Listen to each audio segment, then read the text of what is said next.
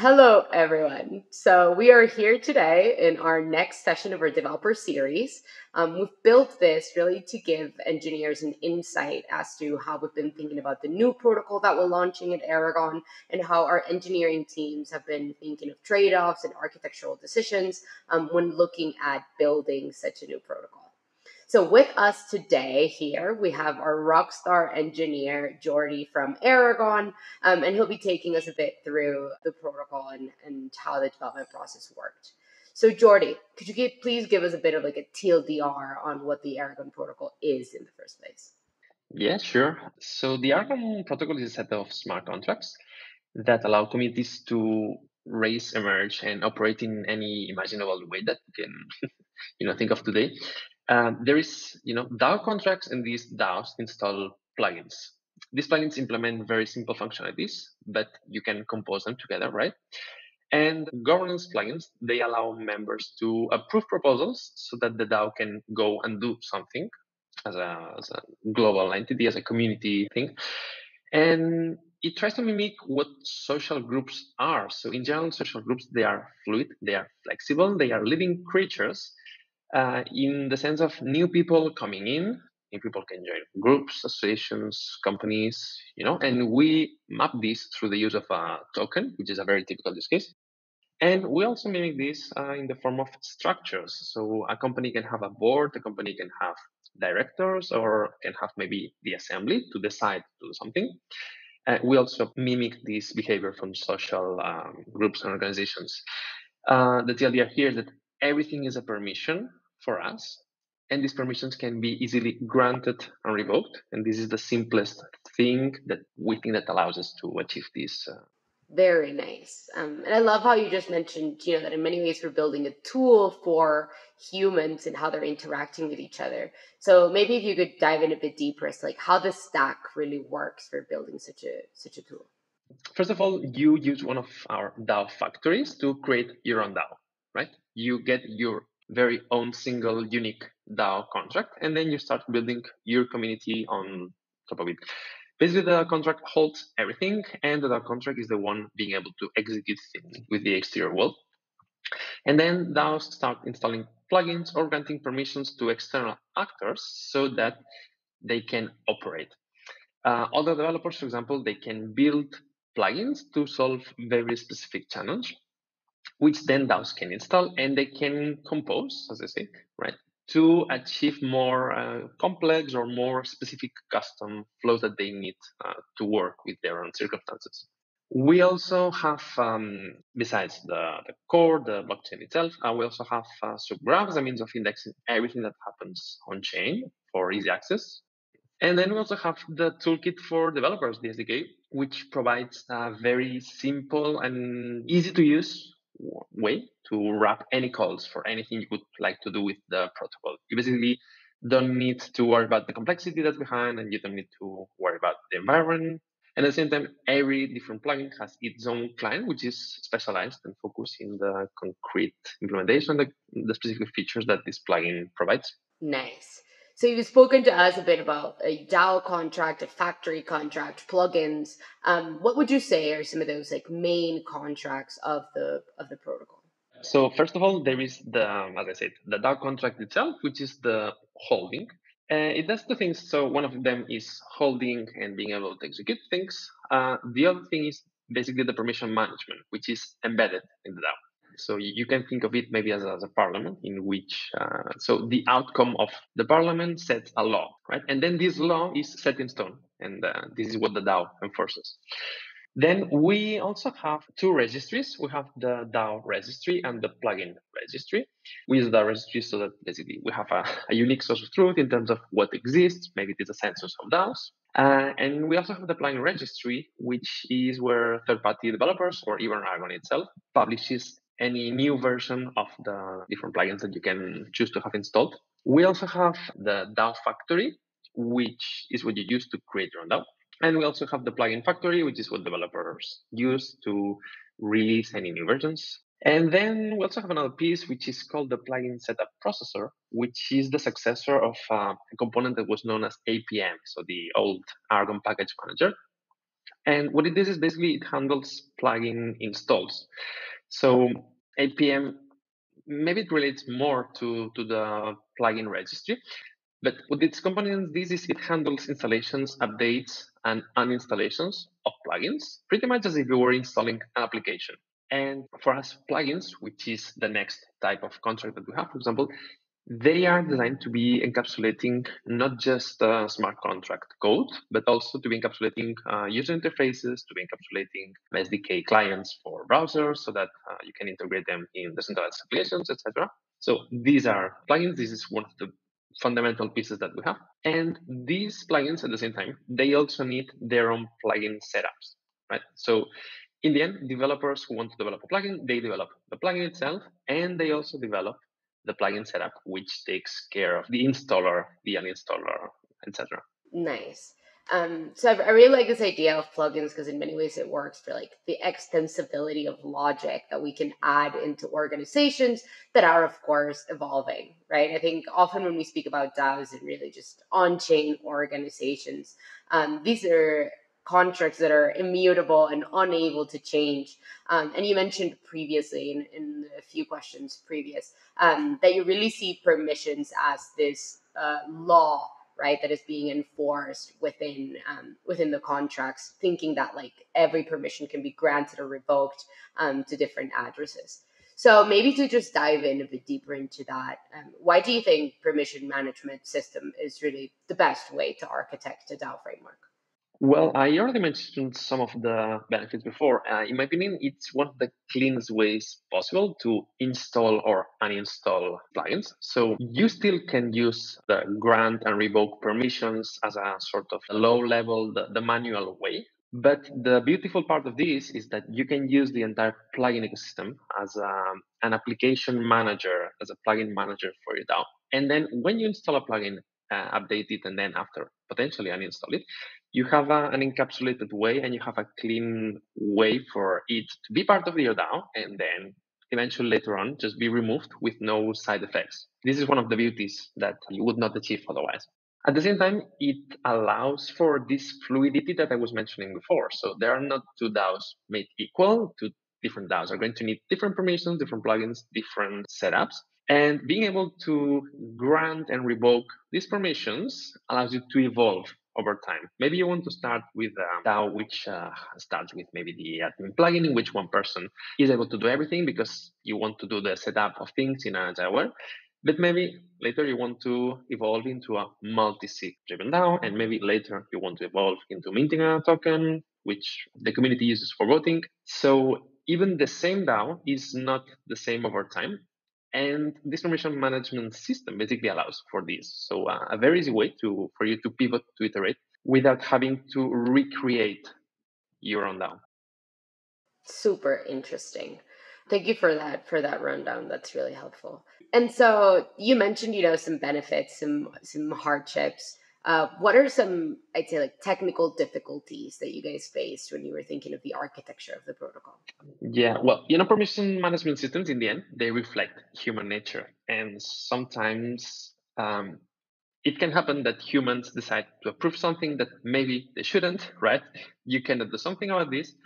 There's also a component of um, well, we're super early in this space. This space is quite new, and potentially in some ways we are the first ones to reach certain situations. And there are some roles that need to be defined right? So what is actually the responsibility uh, of Aragon? What is maybe the responsibility of developers of the community itself? And we are finding challenges here in being the first ones to have certain debates and certain discussions you know? Nice. And considering that were there any other ideas that you guys consider when you were architecting the framework so maybe from a technical perspective, but we want external developers to be explicit. So one thing is us as Aragon, people already knows the project and well, we do our audits, everything. But for any potential third party plugin existing there, there needs to be a very easy way to audit it and to make sure that it does what it should be doing. So we want uh, plugin developers to be very explicit. Also, we want other things, uh, which is, for example, members not having to pay for features that they don't use. So in this space, it's quite easy to say, oh yeah, let's start adding X, Y, Z. Let's add a ton of features. But the problem is that then you make the protocol more sluggish and heavier, etc., etc., and more expensive. This is something we want to make sure that if you don't need something, you should not be carrying the weight of something that you don't use. Another principle, I would say, keep it simple, stupid. Part of what I mentioned before one of the things that a lot of times uh, happens when you need to create something new is that making things seem easy is probably the most difficult task you can make, right? So the goal is to make it seem easy, approachable to everyone, despite the huge effort behind to actually make it seem so. Yeah, a hundred percent. That's very true. So it's very interesting, especially looking at it from a perspective of uh, the optionality that you guys had and then kind of the decision that you ended up making considering that optionality. What were some like technical difficulties that you faced when you were architecting the protocol? Well, the main one is that uh, when you're designing something like a kernel, there are just too many interrelated pieces in, in a complex protocol like this.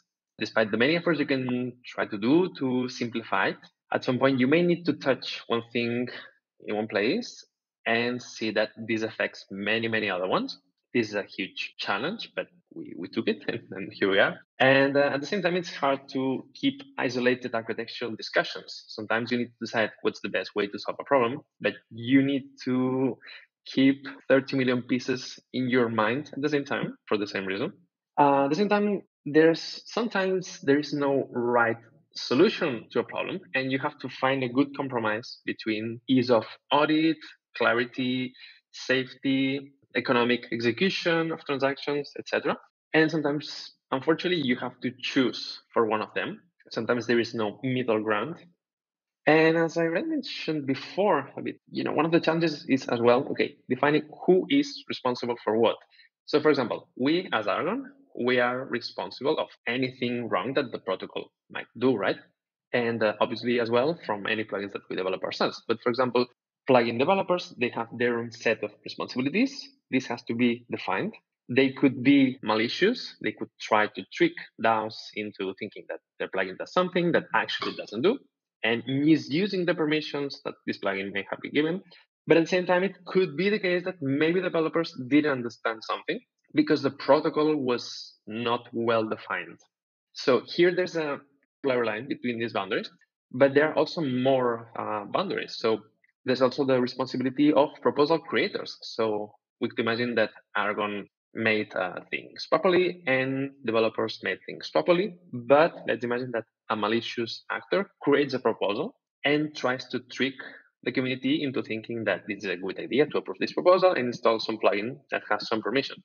In this case, same thing, there's this responsibility. And there's still the last boundary that we can think of, which is ultimately the community members. So if there's something as a proposal that is not really legitimate, or that it's not a good idea, or installing something that's not necessary, or agreeing to grant more permissions that a plugin or some person needs to do something, ultimately this is their responsibility. And these are the four boundaries that we we have had to spend a lot of time to clearly identify to to reflect about and ultimately this has been affecting how the protocol looks as of today of course yeah the, those are so many components to put together um, and especially when you're building a structure for such human behavior i bet there's a lot of edge cases that can come around and just increase the complexity of building something that like you said before should feel so easy and so smooth to use I guess on on that same flow, how is the software development process done? Uh, how are the teams divided? Well, uh, at Aragon globally, we have what we call the core team and then the app team. Basically, the core team, we work in the protocol and everything that supports it. So we have the smart contracts and also we have the subgraph and the SDK, which is the you know the companion tooling to enable any developer to make use of it. And then on the other side, we have the app team, which basically they build the wonderful front end that allows you uh, as a human to make use of it. So we have different proposal uh, value propositions. So one for developers and the other one for humans, for community members, for DAO members. Nice. And having worked in other teams in the past, uh, what would you say are some differences between, say, like Web two engineering teams versus uh, Web three? Yeah, well, for sure there are many. The most obvious one of them is that in Web3, there is no control Z to undo something. Whenever something has already happened in a blockchain, it's there and you can just not undo it. You cannot do an upgrade process or you cannot run a batch update job in a database because this is not viable here. Or if you have been hacked, basically there is no way to undo it. This is a huge first difference. And um, here, for example, uh, imagine that we want to add a new feature, we want to roll a new feature for, for DAOs. Well, the challenge here is that every single DAO being created today would have to voluntarily and proactively decide to upgrade itself, right? Whereas let's imagine that there is some plugin in a specific version, and for some reason well, uh, you want to update this version of the plugin. Well, each different DAO will have to do this proposal uh, on its own because this is also a consequence of this sovereignty that you have. Yeah, at the same time, at the protocol level, well, all, all of the pieces have to snap all at once. Whereas in the Web, Web 2 world, you can be a bit more iterative, right? You can start small and then keep growing. So we try to do this as much as possible at Aragon still, but on the protocol level, you must have the minimum value proposition all there on day one, right? And you don't have the luxury of being able to do migrations or being able to do mass uh, upgrades on things that people are using. Super interesting. Thank you for that rundown. I think, especially for developers who may be jumping on board in the Web3 world, um, or even those who have already been coding for blockchain development, um, certainly all of what you've mentioned are realities that software engineering teams are still, in many ways, trying to figure out and, and solve themselves. So it's great to hear kind of your intake from from your experience in doing so for the last few years. Um, now, I want to kind of wrap things up. You've spoken a lot today to us about these plugins and how they extend functionality for DAOs. Maybe if you could give us a bit of a, a rundown or, or a little bit of a sneak peek on what are some plugins that you guys have been creating, any cool ones that you're looking up to build in the next few months, anything that you can share in that regard. I'm sure everyone here would be excited to hear. Yeah, sure. So on day one, the idea is to launch uh, with a set of four different plugins, which give you a gradient, a gradient of um, agility versus decentralization. So the first four would be first the admin plugin, in which let's imagine that uh, a DAO is created by one person who wants to experiment and then progressively grow. So the admin plugin, the person defined as the admin, can do everything. Then uh, we have the multisig plugin, in which, uh, well, a set of wallets can approve something. Then we have something which is very similar to the multisig plugin, but not exactly the same, which we call the address list plugin. And uh, conceptually is very similar to multisig plugin, but the concept is, is that instead of approving, what you want to do is voting. So you have a list of wallets or addresses, can be contracts as well, which can either vote yes, no, or can abstain if they want. And then there is a limited amount of time in which they can vote, right? Uh, there could be automatic execution if certain conditions are met, etc. Then we have the plain old well-known token voting. So if you have an ERC20 token, potentially an NFT as well, you can cast depending on your uh, a vote, can, depending on your voting power. These are the four we ship on day one. Coming up, we have other ideas. The most interesting one that we're working on is uh, called OVOTE, which is off-chain voting with on-chain execution. And this allows for, uh, you know, the name says it all. We call it OVOTE. Uh, this means that you can vote uh, in a backend service. This backend service uh, costs no money for people to go and cast a vote. And then there is a rollup transaction that computes the results and submits these results on chain. So this eliminates the friction for people to be, go there and vote. And this also provides a degree of anonymity when, the, well, basically the results are submitted on chain. You don't know exactly who voted what, but you know that these results are correct and they are true to what people actually did. There's all the plugins, these are just ideas, but you could decide, for example, that your DAO has a streaming plugin. You could decide that um, the multisig plugin, for example, we have a backend version of the multisig so that uh, signers don't need to send transactions on chain. Or you could maybe have more um, plugins that provide additional user experience. And um, for example, for swapping tokens on Uniswap or any other portal like this, uh, or for example, UIs for um, built-in recipes for DeFi or charts about your um, asset holdings or aggregators for news or anything that you could think of. It doesn't have to be limited to the smart contracts themselves. You could have a plugin without the smart contract, but expanding the UI that you could potentially add to your DAO. Super nice. I'm excited to see all this all this work. I think we're kind of reaching a point um, in the DAO ecosystem where we're really defining kind of how organizations are being structured and looking at new integrations with even existing projects. Um, certainly allows for that composability that uh, has been brewing the ecosystem for so long. So all of that is very exciting to hear. Um, and I guess just one last question to to finish this uh, great talk. And thank you so much for your insights, Jordi but looking to hear, you know, beyond kind of the what we think of as DAOs and, and you know the traditional uses that we see for a DAO framework, what are some other maybe like DApp ideas that you think could be built on top of the Aragon protocol? Well, that's interesting for sure because here the, the imagination is the limit. But for example, we internally tend to think of just digital organizations, right? Not everything is black or white. Not everything is DAO only, not everything is Web3 only. Uh, we think that there's a very interesting gradient between these two worlds, and we think that the next 10,000 DAOs are going to come from the two Web 2.0, let's say, world, and are going to be interested to progressively pivot towards a more Web 3.0 experience. And that's the main reason why we have a protocol that allows this to be as much fluid as possible, as much progressive, etc., etc in the end, anything that a community can do together can find a plugin to help.